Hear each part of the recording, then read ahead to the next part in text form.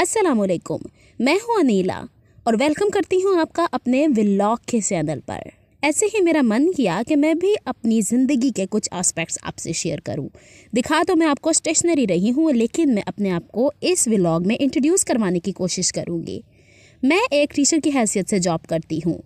और इसके अलावा मेरा घर भी है। और जहाँ पे मैं वॉइस ओवर करूँगी, मेरे बैकग्राउंड के ऊपर आपको टींडे पांडे बेचने वालों की भी आवाज़ आएगी।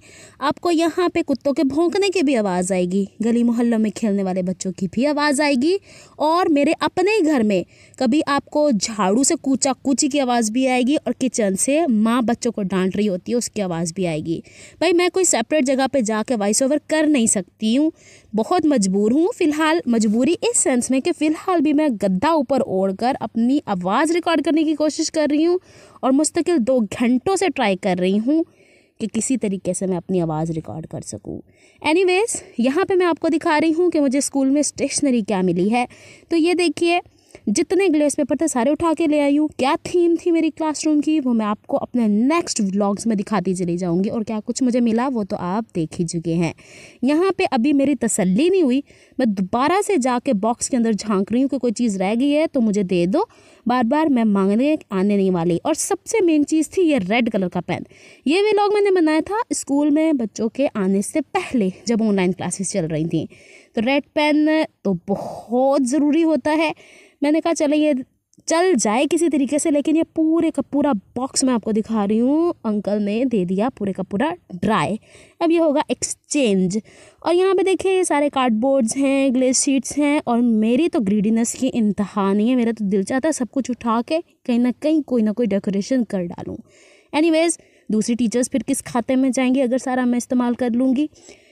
फिर बारी आ गई जी कि कुछ खा लिया जाए। मिस अनिला, आप भागम भागी में लगी हुई हैं आ जाए बिरयानी खा लेते हैं। अब बिरयानी खाते हुए यहाँ पे आपको दिखेगा sanitiser I you must sanitise your hand और दिखाने का मकसद ये भी था कि हमारे पास सैनिटाइज़र मौजूद है भाई। अब यहाँ पे मिस हफ्सा हैं, ये हमारी बड़ी अच्छी सी टीचर ये मुझे सिखा रही थी कि बच्चों को पढ़ाया कैसे जाता है। अब देखिएगा ये किस तरीके से मुझे पढ़ाने की कोशिश कर रही हैं। मिस अनीला आप बहुत डैश हैं। अब डैश के अंदर तो कुछ भी फिल किया जा सकता है। तो मैं देखती हूँ ये क्या फिल करती हैं। इनके चाह ख़त्म नहीं होने आखिर तक चलते ही रहने। इन्हें छोड़ें अभी।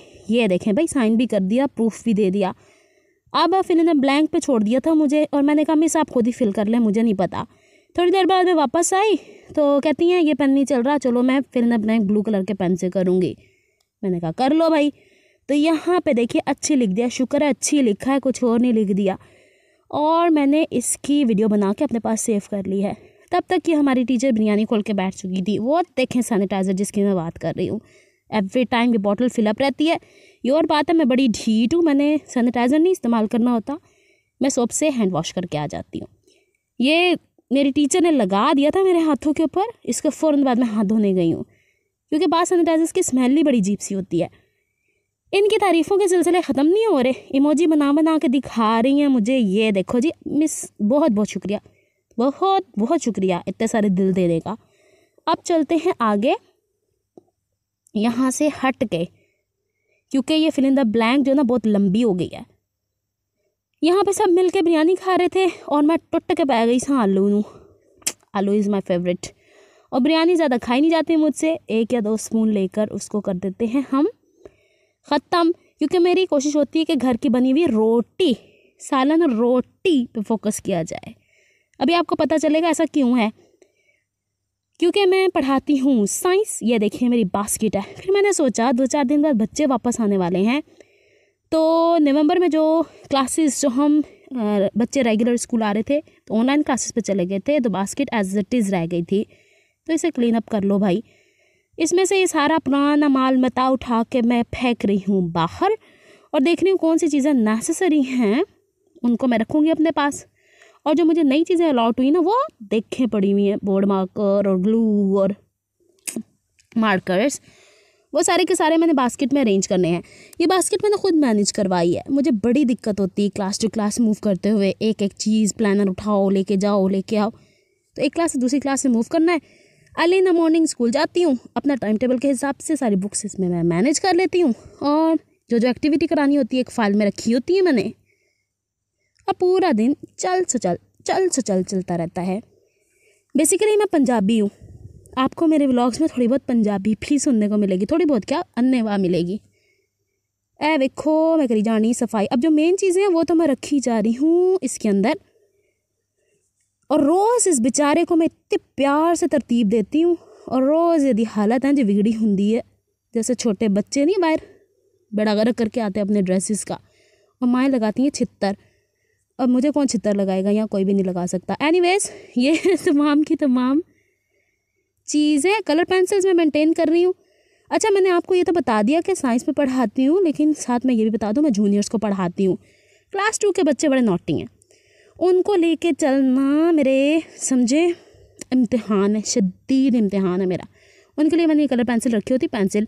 मिस, आज हम पेंसिल भूला है मिस हम आज रेज़र भूला है उनके लिए मैंने रखी होती, बेटा पढ़ना तो फिर भी है तुसा। और यहाँ देखें, ये तमाम पिक्चर्स मैं आपको दिखा रही हूँ, जब ऑनलाइन क्लासेस चल रही थी तो इनके प्रिंट आउट निकाल के मैंने कुछ वीडियोस बना के भी भेजी हैं बच्चों को। और कुछ मैं जब जूम पे पढ़ाती थी तो वीडियो शेयर करती थी, यानी उस पर फेस भी शो किया जाता है ना। पढ़ाने से पहले मैं पैरी पूरी प्लानिंग करती हूँ। साथ साथ आपको पता चलता जाएगा कि मैं पढ़ाती कैन जा। दो तरह की बुक्स होती हैं, एक थ्योरी एक प्रैक्टिकल प्रैक्टिकल में ये वर्कशीट्स होती हैं और थ्योरी के अंदर चैप्टर होता है। ये तब की कहानियाँ हैं जब हम ले रहे थे ऑनलाइन क्लासेस तो उसकी मैं प्रिपरेशन कर रही थी। अपनी कुछ नेक्स्ट वीडियो में मैं आपको दिखाऊँगी मैंने कैसे बोर्ड मेंटेन किया ऑनलाइन क्लासेस कैसे मैनेज कर रही थी। और अब मैं आपको दिखाऊँगी फ़िज़िकल क्लासेस कैसे मैनेज करती हूँ मैं। अगर मैनू अलाउ हो गया स्कूल से कैमरा यूज़ करना अदरवाइज़ आजकल तो फुर्सत ही नहीं है। अभी भी मेरी ग्रीडीनेस कम नहीं हुई है, दोबारा पलट के आई हूँ, लेकिन तब तक ये सारा मैनेज हो चुका था।